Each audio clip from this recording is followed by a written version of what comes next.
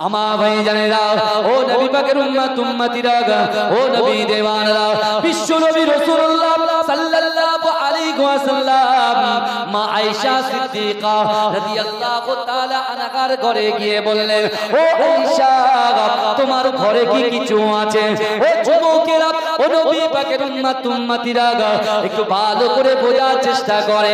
বিশ্ব নবী রাসূলুল্লাহ সাল্লাল্লাহু আলাইহি ওয়াসাল্লামের ঘরে যখন কিছু খাবার দেয়, মা আয়েশা সিদ্দিকা রাদিয়াল্লাহু তাআলা আনহা, আমার নবীকে বললেন ইয়া রাসূলুল্লাহ, ইয়া হাবিবাল্লাহ, আমার ঘরে কোনো খাবার নাই। বিশ্ব নবী রাসূলুল্লাহ, মা মাইমানার ঘরে গেলেন। ও মাইমানা, তোমার ঘরে কি কিছু খাবার আছে? ও যুবকেরা, ও নবী পাকের উম্মত, উম্মতিরা, মা মাইমানা ঝরঝর ঝরঝর ঝরঝর করে কাঁদে আর বলে, ইয়া রাসূলুল্লাহ, ইয়া হাবিবাল্লাহ, না না না, আমার ঘরে কোনো খাবার নাই। ও যুবকেরা ও নবী পাকের উম্মত উম্মতিরা একটা পারের জন্য চিন্তা করো।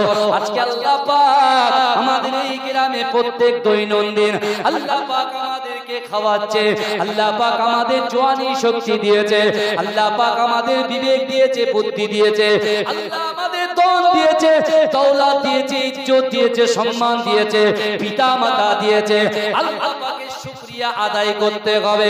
ও যুবকেরা, খাবার তো আল্লাহ দিচ্ছি না, তা তো নয়। আল্লাহ তো দৈনন্দিন আমাদেরকে খাওয়াচ্ছে। ও যুবকেরা খাওয়াচ্ছে যে আল্লাহ আমাদেরকে দুটো করে চোখ দিয়েছে, দুটো করে হাত দিয়েছে, দুটো করে পা দিয়েছে। আল্লাহ জিহবা দিয়েছে আল্লাহ মুখে সাপ দিয়েছে। ও যুবকেরা, সেই আল্লাহ পাকে শুকরিয়া আদায় করতে হবে, সেই আল্লাহ পাককে খুশি করতে হবে। আল্লাহকে খুশি কেমন করে করব? কোরআন বলছে, বিসমিল্লাহির রহমানির রহিম। কুল ইন তুহিব্বুনাল্লাহ ফাত্তাবিউনি ইউহিব্বুকুমুল্লাহ। ও যুবকেরা, আমার আল্লাহ পাক রব্বুল আলামিন আমার দয়ার নবীকে জানিয়ে দিলেন। ও আমার হাবিবরে, আপনি আপনার উম্মত উম্মতিকে জানিয়ে দেন। কুল ইন কুনতুম তুহিব্বুনাল্লাহ, আমি আল্লাহকে যদি কেউ ভালোবাসতে যায় আমি আল্লাহকে কেউ যদি আগে তেবা করতে যায় আমি আল্লাহ পাক জানিয়ে দিলাম, আমাকে ভালোবাসার আগে সে যেন আপনাকে ভালোবাসে। আপনার উম্মত আপনাকে মহাব্বত করে, আপনার উম্মত আপনাকে ভালোবাসে। ও বলে কবি রে! আপনার উম্মত, উম্মতিরা আপনাকে কেমন ভালোবাসে, কেমন প্যার করে, কেমন করে, আমি আল্লাহ কিন্তু দেখে নেব, আমি আল্লাহ কিন্তু বুঝে নেব। হাবিব রে দোস্ত রে, আমি আল্লাহ পাক রব্বুল আলামিন তোমাকে জানিয়ে দিলাম যে সকল উম্মত উম্মতি গুলো আপনাকে করবে, আপনাকে ভালোবাসবে, আপনাকে প্যার করবে। আমি আল্লাহ পাক জানিয়ে দিলাম, তাদের জিন্দগি জীবনের সমস্ত রকম কথাগুলোকে আমি আল্লাহ পাক ধুয়ে সাফ করে দেব।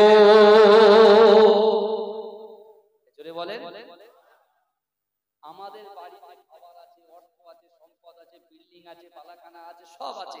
কিন্তু আমাদের বাড়িতে নামাজ নেই, আমাদের বাড়িতে নেই, আমাদের বাড়িতে পর্দা নেই, আমাদের বাড়িতে বড়দেরকে সম্মান নেই, আমাদের বাড়িতে ছোটদেরকে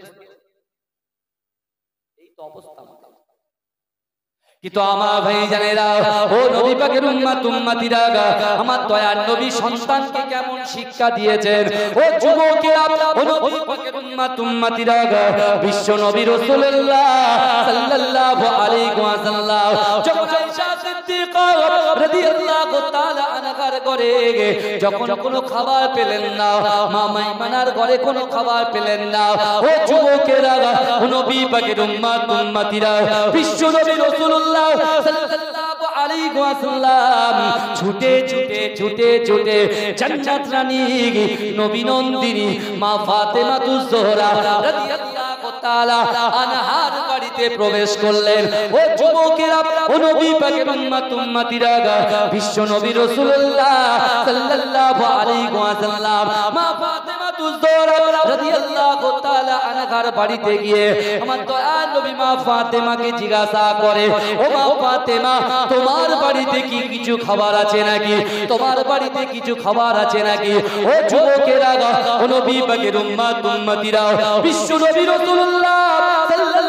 সাল্লাল্লাহু আলাইহি ওয়াসাল্লামের কন্যা, মা ফাতেমা তু জোহরা রাদিয়াল্লাহু তাআলা আনহা অজনয়নে ঝরঝর করে কাঁদে।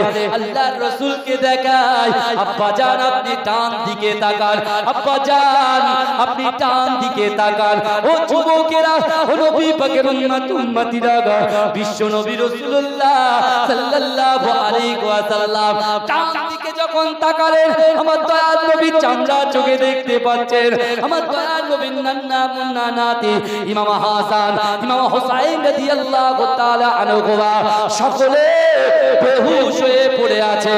ও যুবকেরা, বিশ্ব নবী কাঁদতে কাঁদতে ঘর থেকে বার হয়ে গেলেন। ও আমার ও নবী উম্মত উম্মতিরা, আল্লাহর রাসূল গিয়ে এত কান্না কাঁদে গে, নামাজের মাসাল্লায় গিয়ে আল্লাহকে বলে আল্লাহ? না না না না না। ঘরে খাবার দেয়, আমি কিছু মনে করি না। ফাতেমার ঘরে খাবার দেয়, আমি কিছু মনে করি না। কিন্তু এই রব্বি আল্লাহ, কাল কিয়ামতের মাঠেতে কাল হাসরের মাঠেতে আমি রাসূলুল্লাহ সব কিছু সহ্য করতে পারি। আমার উম্মত জাহান্নামে যাবে। আমি রাসূলুল্লাহ এটা কখনো সহ্য করতে পারি না। বলা গেল না, চিন্তা করে। মেয়ের বাড়ি, স্ত্রীর ঘরে, খাবার পেল না। হ্যাঁ? চিন্তা করে আমরা হলে কি করতাম? আগে বাজারে গিয়ে, আগে বাজারে গিয়ে বাজার টাজার করে দিতাম। কিন্তু আমার রসুল্লাহ তো সেই সময় আমাকে আপনাকে আল্লাহ দিয়েছে আমার যুবকরা মনে করছে, বলে এখন তো সবে মাত্র কুড়ি বছর বয়স।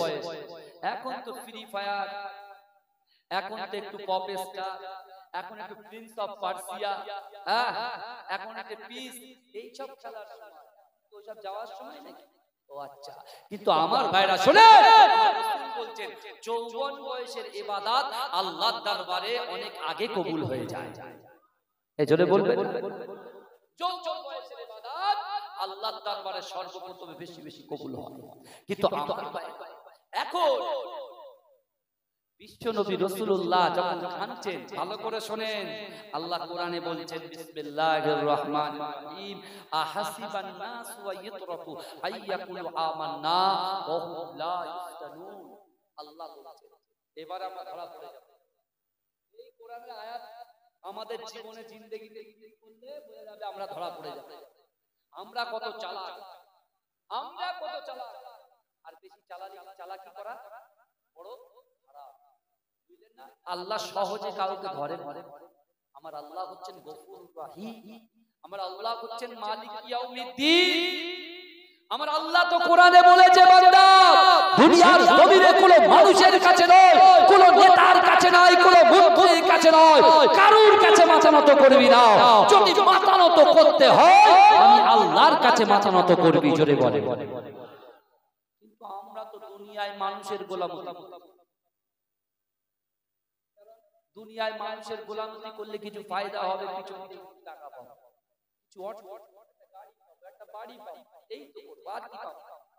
কিন্তু আমার আসল নেতাকে ভালোবাসো, যুবক, বিশ্বাস করো, তুমি তোমার বুকে হাত দিয়ে বলো, যাদেরকে আমরা কবরস্থ করেছি, তাদের দিকে আমরা কতবার যাই সপ্তাহে এক জুম্মা বারের দিন যুবকরা সবার শেষে যাবে সবার আগে থাকে ভুল বলছি বাবাজি? সবার আগে যাবে। সবার শেষে যাবে। চেরামত করে দু রেখাত খরচটা মারবে ব্যাস। তারপরে আউট বলে হুজুর দোয়াটা শর্ট করেন এত ইমাম সাহেবের বলে এত শর্ট এত বড় দোয়া কেন short করতে হবে, short? ও জায়গায় শর্ট আর এমনি জায়গায় শুধু লং বাড়াও বাড়াও বাড়াও বাড়াও।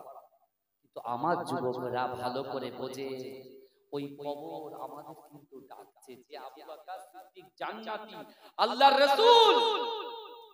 আল্লাহর রাসূল, যিনি জমিনের উপরে আবু বকরকে জান্নাতি বলে ঘোষণা করেছেন আবু বকর কবরকে সামনে রেখে কাঁদছেন কবরের ভয়ের জন্য? এখানে কিন্তু দুটো ব্যাখ্যা আছে।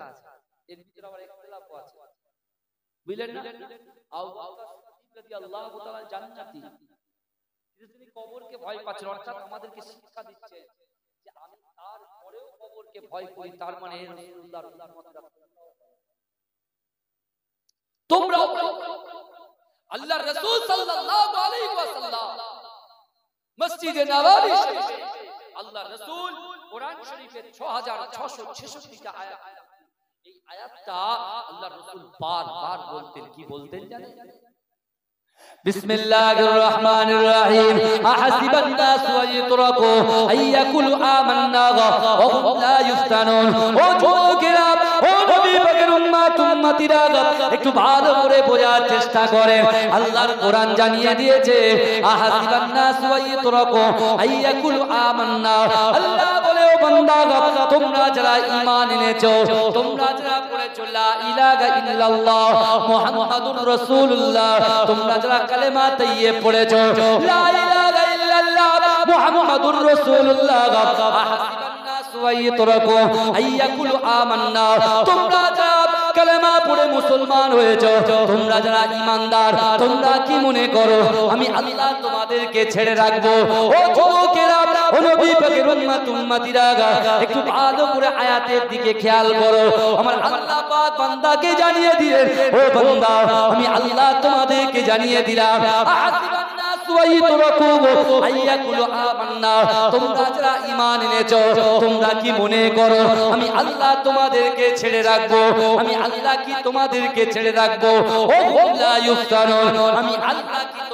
পরীক্ষা করব না? আমি আল্লাহ কি তোমাদের পরীক্ষা করব না? ও যুবকেরা, আল্লাহ যৌবন শক্তি দিয়ে আল্লাহ আমাদের পরীক্ষা করবে। আল্লাহ অর্থ দিয়ে পরীক্ষা করবে। আল্লাহ বিবেক দিয়ে পরীক্ষা করবে। আল্লাহ সম্পদ দিয়ে পরীক্ষা করবে, আল্লাহ সন্তান দিয়ে পরীক্ষা করবে, আল্লাহ স্ত্রী দিয়ে পরীক্ষা করবে, আল্লাহ পিতা মাতাকে দিয়ে পরীক্ষা করবে, আল্লাহ দিয়ে পরীক্ষা করবে, আল্লাহ শিক্ষা দিয়ে পরীক্ষা করবে, আল্লাহ পাক রব্বুল চারিদিক দিয়ে আমাদেরকে পরীক্ষা করবে। ও বিশ্বাস করে আল্লাহ যখন পরীক্ষা করবে, আর ওই পরীক্ষায় যদি আমার যুবকীরা উন্নতি ওই পরীক্ষায় যদি আমার যুবকীরা উত্তীর্ণ হয়ে যায়, আমার মুরব্বীরা উত্তীর্ণ হয়ে যায় উত্তীর্ণ হয়ে যায়, কাল কিয়ামতের মাটিতে, কাল হাসুরের মাটিতে, আল্লাহ রব্বুল আমাদের জন্য দুটো জিনিস তৈরি করে রেখেছে। একটা হলো জাহান্নাম আর একটা হলো জান্নাত। যারা আল্লাহ পাকের পরীক্ষায় উত্তীর্ণ হয়ে যাবে, বিশ্ব নবী রাসূলুল্লাহ সাল্লাল্লাহু আলাইহি ওয়াসাল্লাম ওই উম্মতের হাতটা ধরে আল্লাহ দয়ার জান্নাতে পৌঁছে দেবে। জোরে বলা যাবে না এখন আল্লাহ যারা ঈমান এনেছো ভালো করে বুঝবে এটা আল্লাহ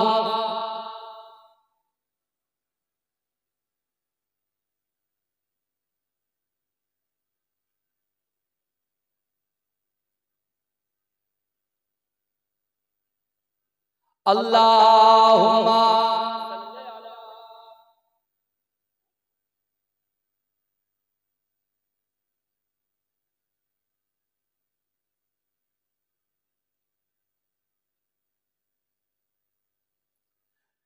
পেলে দিদার একটি বার, তোমাকে খোদার কসম, কলিজা কোন দিয়ে তখন ধোয়াবো তোমার কদম।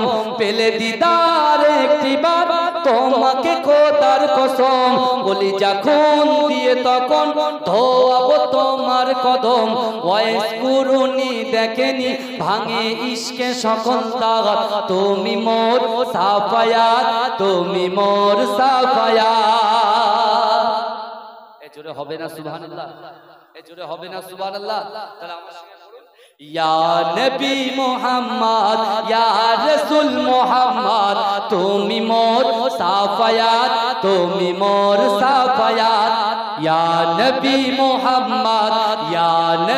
মুহাম্মদ, ইয়া নবী মুহাম্মদ নবী মুহাম্মদ ইয়া রাসূল মুহাম্মদ তুমি মোর সাফায়াত তুমি মোর সাফায়াত তুমি মোর সাফায়াত তুমি মোর সাফায়াত পেলে দিদার একটি বার তোমাকে খোদ কসম গলি যখন দিয়ে তখন ধোয়াব তোমার কদম।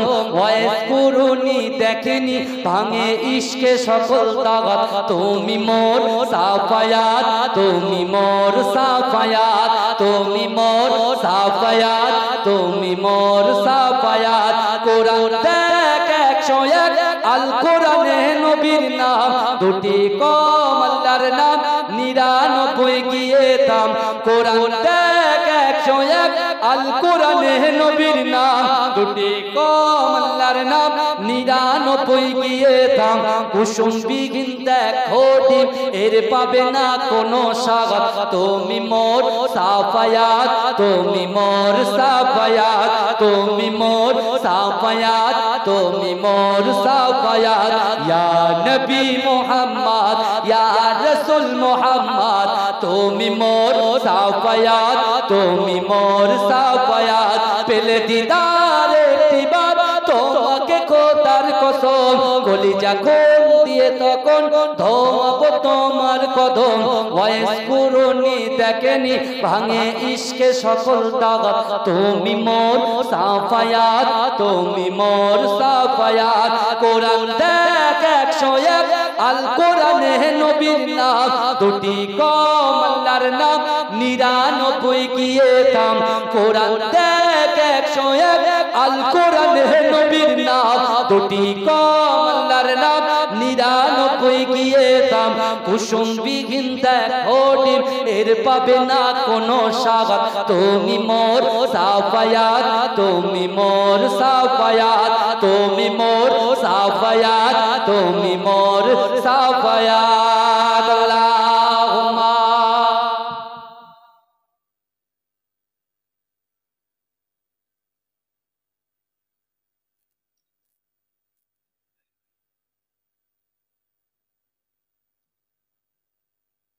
আমার ভাই আমার বাবাজিরা ভালো করে করে।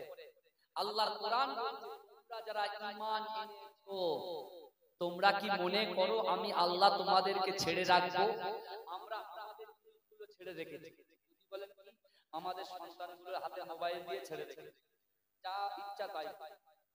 আমরা যে লালন পালন করি, গরু, ছাগল মুরগি ভালো করে বুঝবেন, এগুলো সেই জিনিসগুলো আমরা কি করি একজন মুসল্লি তিনি ফজরের নামাজ পড়েন তিনি নামাজ এখন তার চারটে গরু আছে কটা গরু আছে চারখানা গরু আছে সেই চারখানা গরুর দড়ি গলায় দিয়ে চারটে দড়ি হাতে নিয়ে টান টান যাচ্ছে সকলে ভালো করে বুঝবেন। আল্লাহ বলছেন, তোমরা যারা ঈমান এনেছো, তোমরা কি মনে করো আমি আল্লাহ তোমাদেরকে ছেড়ে রেখে ভালো করে বুঝবেন। এখন আল্লাহ আমাদের ছাড়ছে না। আমরা আমাদের জিনিসগুলো কেমন ছেড়ে দিচ্ছি দেখে কীরকম অভিনয় করছি দেখে এবারে মুসল্লি কি করছে? গরুর দড়িটা নিয়ে যাচ্ছে, সব পাঁচটা, দশটা ছেলে, যুবক ছেলে। এখন ধরেন ফ্রি ফায়ার খেলছিল। দেখেছিস তো? কত বড় ভালো মুসল্লি। গরুর গলায় দড়ি দিয়ে যাচ্ছে, যাতে করে ফসল বা- পরের লোকের ফসল যাতে না খায়। ক্ষতি না। তাই তো? কিন্তু ওই মুসল্লি যখন এখান থেকে চলে গিয়ে মাঠে চলে গিয়েছে, ডান দিক বা দিক গিয়ে কি করল জানেন? ওই গরুর গলা দড়িগুলো সব খুলে দিল।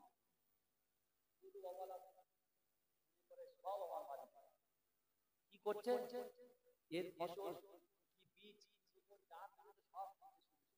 ভাই, ওটা জায়েজ হবে না হারাম হবে বলে।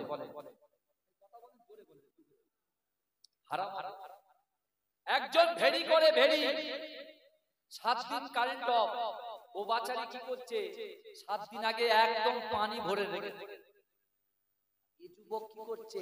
ও চারিদিকে খুব ভালো সুনাম সবাই বলে, খুব ভালো ছেলে। খুব ভালো ছেলে, অথচ গোপনে গোপনে গুণা করে, কেমন দেখে? ও কি করছে? একটা বড় লাঠি নিয়ে সেটা বাঁশ নিয়ে দেখতে পাচ্ছে, এই পুকুরের ও পুকুরের পানিটা বেশি।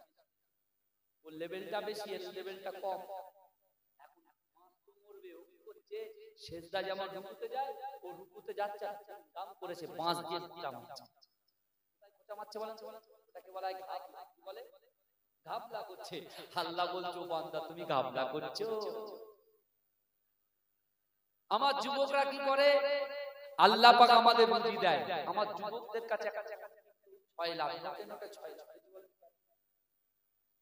এরা কি করছে? পাঁচশো টাকা, সাতশো টাকা রুজি ইনকাম করাটা এদের কাছে সার কথা ঠিক বলছি না ভুল বলছি? আমাদের ওখানে বিশ্বাস করুন, প্রত্যেকটা দৈনন্দিন সকালবেলা সাইকেলটা নিয়ে বেরোয় সাইকেলটা নিয়ে বেরোয় নিউ টাউন আছে না ইকো পার্ক? এই ইকো পার্কের পাশে বিশাল বড় বড় বিল্ডিং হচ্ছে, দেখেছেন? হ্যাঁ ওই বিল্ডিং, ওই সব ঠিকাদারের কাছে গিয়ে কাজ নিয়ে